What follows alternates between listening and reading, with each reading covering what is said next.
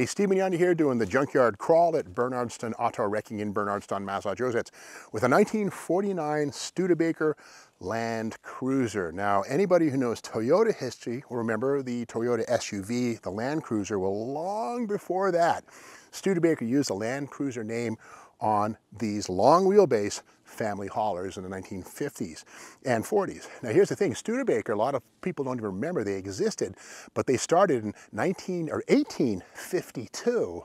In fact, long before Henry Ford was even born, the Studebaker brothers were building Conestoga wagons. And I'm gonna bet that some of you folks watching this, your ancestors moved west to the western states in Studebaker built Conestoga wagons. They made that many, lots of them. Of course, Studebaker built cars through 1966 in Canada and through 1963 in the United States, and this is one of them.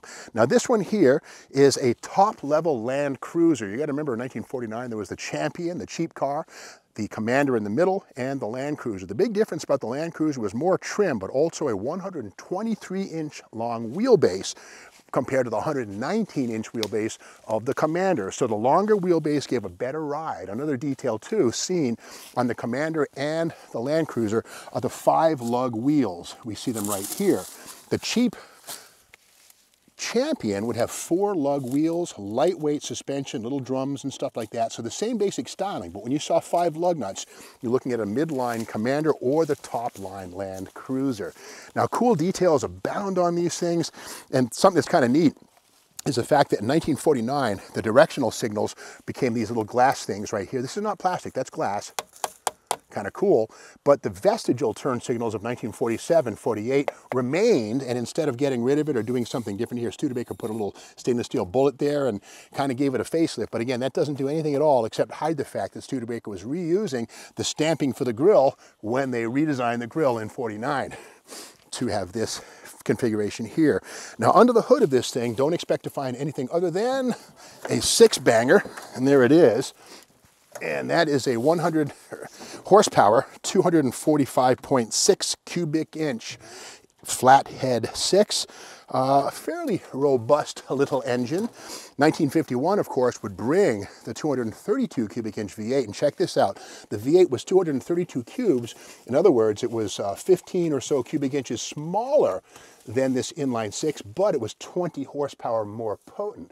And remember too that Studebaker in 51 was ahead of Chevrolet, Pontiac, uh, and uh, Buick with a V8 engine, a modern pushrod V8. So again, 1951, first Studebaker V8. Now something interesting here, a lot of people say Studebaker, they remember the bullet nose Stude right there. And that's something that arrived in 1950. So this nose here went away in 49, replaced by the bullet nose. Now before this styling cycle, which arrived in 1947, which was the first of Studebaker's envelope body styles, that is what a Studebaker looked like right there. Sort of the potato with the bolt-on fenders, the pontoon fenders. But again, we get into 1947 and a whole different design came along, these puppies right here.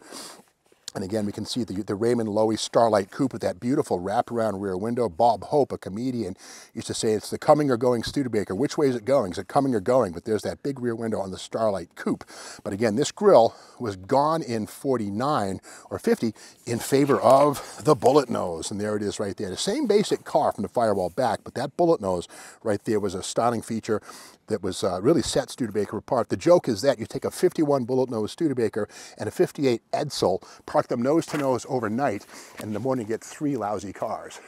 Fill in the gaps yourself. But anyway, this is the underhood region, pretty much unmolested on this thing. Interesting details. We see, of course, the spark plug wires run together in this metal loom right here from the distributor to each of the spark plugs. And again, most people today, hot rodders, say you never want to run spark plug wires next to each other. They crossfire. Well, it seems like it worked pretty good here. Now keep in mind, this six volt system on this thing would not exactly been making a hot spark. So I guess it was safe enough for Studebaker, certainly. Here's the auxiliary oil filter right here. You take this off, there's a canister inside. And modern uh, spin-on oil filters were still a few years away when this car was built. Vacuum wipers right here, which are kind of a stinker because if you're going through an intersection at night, it's foggy, it's raining. When you punch the gas, the vacuum diminishes, the wipers slow down when you most need them. But again, vacuum wipers seen here. Let's take a look inside. And again, this one being a Land Cruiser has this chrome trim here, three bits here. And again, the longer 123 inch wheelbase, which is four inches longer than the, uh, the lesser models. But again, suicide doors, kind of cool. Now this one here is a three speed manual. And we can see right there, the clutch pedals down in the floor. In fact, through the floorboard, notice the master cylinder. Yep, if you had to change or alter or fill the fluid, you had to open a little patch in the bottom. And that thing right down there is the master cylinder, which is where you would, uh, that screw on is where you'd add your fluid. Uh, 1954, I believe, added the, uh, the, the, firewall mounted master cylinder for much better use. Now this was a Radio Delete car when it was originally born, but somewhere along the line, somebody added this Delco under dash auxiliary radio. Here it is, DELCO. And again, Delco, of course, a division of General Motors now, or I believe it was then. But here is this unit that somebody hung underneath because they get tired of the sound of silence with apologies to Simon and Garfunkel. But inside of this thing, you know, fairly commodious, love that word, big interior, lots of room. And again, the Land Cruiser was a longer wheelbase version of the Commander. And uh, the whole idea was, you know, cruising the land in your long wheelbase Studebaker in more comfort than you would have had in the shorter wheelbase cars with 119 inch wheelbase.